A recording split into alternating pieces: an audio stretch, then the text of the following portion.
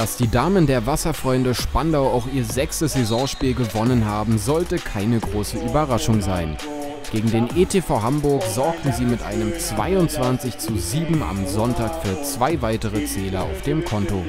Im Großen und Ganzen war das Spiel sehr gut. Wir waren taktisch, schwimmerisch und technisch eindeutig überlegen.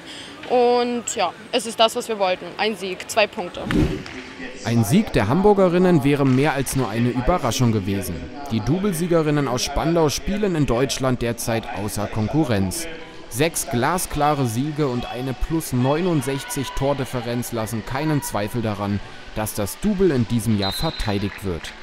Das erwartete Torfeuerwerk gegen die Tabellenschlusslichter aus Hamburg blieben die Spandauerinnen nach dem Anpfiff nicht schuldig.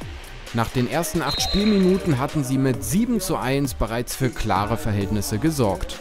Vor allem schwimmerisch waren die Berlinerinnen einfach schneller und erspielten sich so immer wieder 1 gegen 1 Situationen vor dem Hamburger Tor.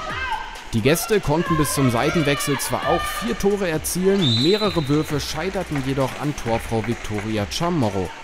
Kurz vor der Pause mussten die Wasserfreunde dann noch einen bitteren Ausfall verzeichnen, jedoch nicht im Wasser, sondern am Beckenrand. Rote Karte für Trainer Marco Stamm. Wir haben versucht, eine neue Taktik, die wir ein paar Tage zuvor erst probiert, also einstudiert haben, eigentlich umzusetzen.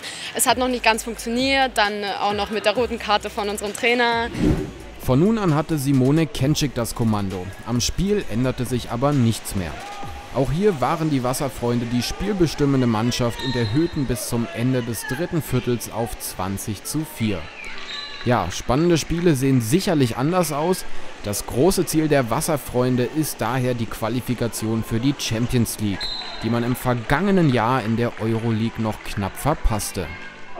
Wir versuchen es nächstes Jahr wieder und da hoffen wir aller guten Dinge, dass wir dann natürlich weiterkommen und dann auch einfach nicht nur den Ligabetrieb haben, sondern auch einfach internationale Spiele, wo wir uns deutlich mehr verbessern können. Leicht wird das sicher nicht. Denn die europäische Konkurrenz ist und bleibt sehr stark. Gut, dass genau das der Ansporn der Wasserfreunde Spandau ist.